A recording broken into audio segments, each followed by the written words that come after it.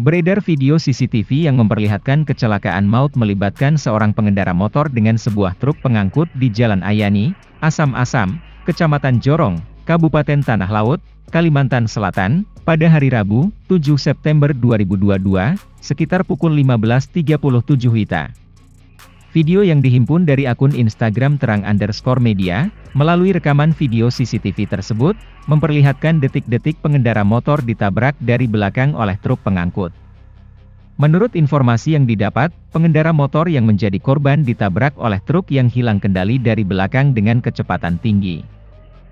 Akibat kejadian itu pengendara motor tersebut dinyatakan tewas. Jenazah korban telah dibawa ke klinik Mitra Sehat Asam-Asam. Berdasarkan informasi yang didapat, korban bernama Syarifuddin, warga desa Anjir Pasar, Kabupaten Batola, adalah teknisi Balai Besar Pelaksanaan Jalan Nasional Kalimantan Selatan. Terima kasih sudah nonton, jangan lupa like, subscribe, dan share ya!